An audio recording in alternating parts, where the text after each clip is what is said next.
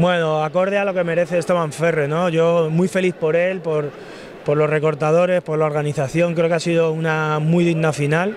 por los ganaderos, por el juego que han dado los toros, el espectáculo, la gente cómo ha reaccionado a, esta final. Y bueno, yo creo que un digno ganador, yo de recortes me vais a permitir, no entiendo mucho, pero me han, emocionado casi todos, por no decirte todos. Y bueno, pues espero que este sea el comienzo de una andadura que recorreremos juntos con la Fundación Toro de Lidia, con la que siempre trabajamos de manera maravillosa y espero que en el futuro no muy lejano repitamos cuanto antes mejor. Yo creo que sí, yo creo que a lo largo de todo el año, bueno, todos los convenios que hemos hecho con la Fundación, las novilladas picadas en la Comunidad de Madrid, las corridas de toros en la Copa Chenel y este trofeo Esteban Ferre han sido un reflejo de que hay que hacer las cosas con otro modelo de gestión, que es un modelo que creo que ha venido para instaurarse y, y cambiar algunos sistemas establecidos en el mundo del toro y porque esto lo removemos desde los cimientos o los cimientos empiezan a quebrarse y se vendrán abajo.